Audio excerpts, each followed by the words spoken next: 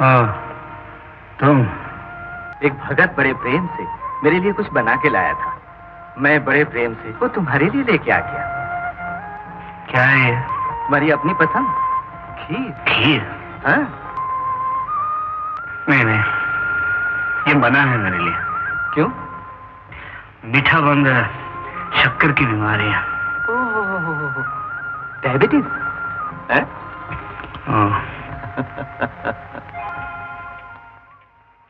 फिर तो चाय और कॉफ़ी भी शक्कर के बिना पीते होगे। चाय और कॉफ़ी पीना ही मना है। क्यों? अंतड़ियाँ जरा खराब हो गई हैं। तो क्या हुआ? पुलाव बिरयानी समोसे कचौड़ी नहीं नहीं बस बस। वो सब भी मना है। ये कम वक्त ब्लड प्रेशर भी तो जान पे सवार है। फिर खाते क्या हो? दलिया बिना शक्कर के खिचड़ी बिना नमक के और भाजी बिना घी के। फीका खाना आदमी कितना खा सकता है? हाँ, फिर बाकी पेट ठंडे पानी से भरते हो क्या? ठंडा पानी पीना भी मना है। क्यों?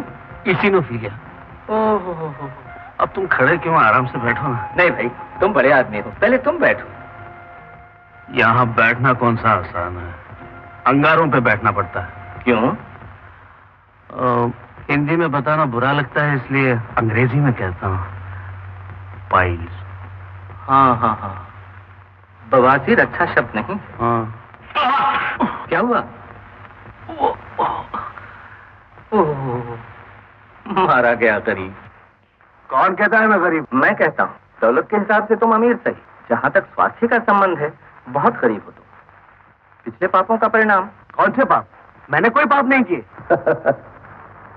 ये सब क्या है? ये मौत को परे करने के सामान है। मेरी दवाइयाँ हैं। इतनी बहुत सी दवाइयाँ? बीमारियाँ भी तो कम नहीं है। ये क्या है? छोटी छोटी सुंदर शीशियाँ ये देखो वो है टेरामाइसिन एक्रोमाइसिन लैडोमाइसिन गैरामाइसिन और ये है तुम बहुत तेज बोलते हो भाई। मैं संकट में पड़ गया हूँ। जरा आहिस्ता से बताओ मेरे भाई नाम तो याद रहने चाहिए। हाँ वो तो याद रहने चाहिए। हाँ कभी तुम्हें भी ज़रूरत पड़ सकती है।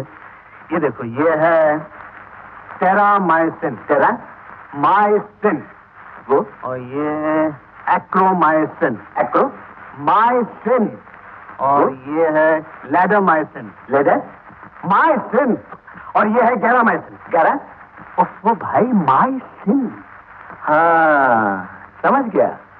क्या समझ गया? माई का अर्थ जानते हो? मेरा। इनका मतलब? पाप। और माई सिंह का? मेरा पाप। अच्छा अच्छा अच्छा। तुम ये सारी चालाकी इसलिए कर रहे थे कि मैं अपनी जबान से मान जाऊँ ये बीमारियाँ नहीं मेरे पाप हैं हैं? चालाकी की ज़रूरत क्या है? तुम स्वयं कई बार कह चुके हो माइसिन माइसिन माइसिन। माइसिन अंग्रेज़ी लफ्ज है। देखो आनंद पाप ना हिंदुस्तानी होता है ना अंग्रेज़ी। वो केवल पाप होता है। अब तुम्हें मालूम हुआ तुमने यहाँ पहुँचने के लिए क्या खोया? दौलत आ गई परंतु सेहत चली गई। याद करो जब तुम इस महल में नहीं पुराने छोटे से मकान में रहते थे। तब कितने खुश थे तुम। आराम तो बहुत है इस घर में, परंतु खुशी किस कोने में रहती है